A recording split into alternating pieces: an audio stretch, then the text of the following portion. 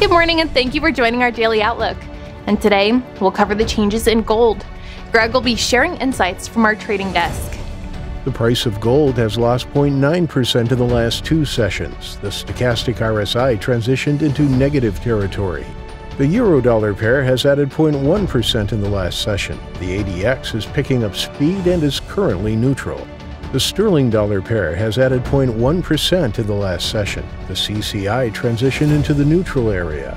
The Aussie dollar pair has lost 0.5% in the last two sessions. The CCI has moved into the neutral area. Coming up, today's major financial news.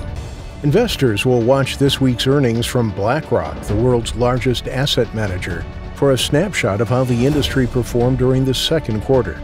The ECB meeting on Eurozone monetary policy, followed by the EU summit to reach agreement on a recovery fund, will dominate euro trading. Gold prices accelerated higher as longer-dated treasury yields declined and the Dow Jones and S&P 500 rose. And now let's review today's major economic events.